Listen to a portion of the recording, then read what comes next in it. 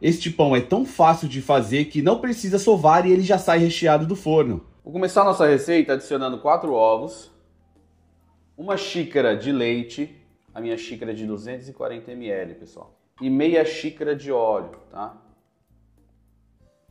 Sal, eu tenho uma colher pequena, porém é a gosto, tá bom? Vou bater isso aqui muito bem, ó, até misturar tudo. Pessoal, terminei de bater aqui, misturei tudo. Agora vou adicionar duas xícaras de farinha de trigo, tá bom? Ó. Agora a gente vai misturar novamente, ó.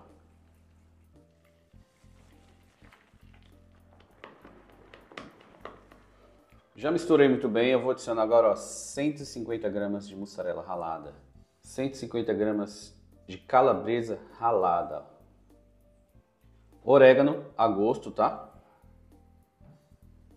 A gente vai mexer agora tudo muito bem, esses ingredientes, ó, dessa forma aqui, gente.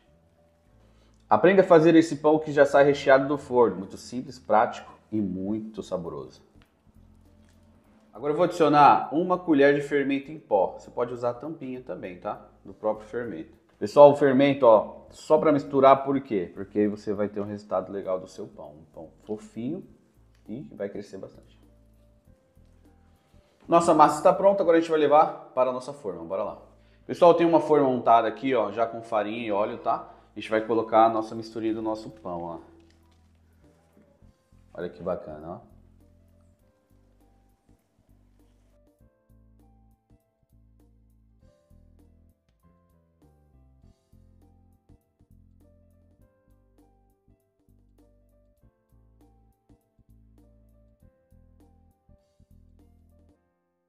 Pessoal, já ficou prontinho aqui na nossa forma. Agora eu vou adicionar, para finalizar, um pouquinho de mussarela ralada.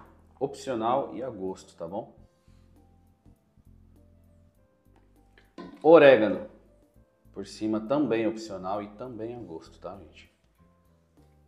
Meu forno já está pré-aquecido em 200 graus, agora eu vou levar por 30 minutos, tá bom? Bora lá.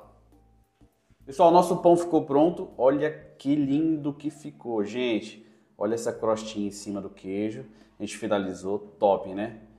Gente, pode fazer que dá muito certo. Agora a gente vai desenformar e cortar um pedaço para vocês, ó. Vamos cortar aqui, ó, um pedaço para vocês verem por dentro. Macio ele tá, gente, ó. Olha isso aqui. Olha como ele fica super recheado. Tá quentinho ainda, ó. Vou pegar um pedaço aqui para vocês verem. Olha que bacana, gente super recheado, delicioso, ó. Pode fazer que não dá pouco, não dá muito certo, gente.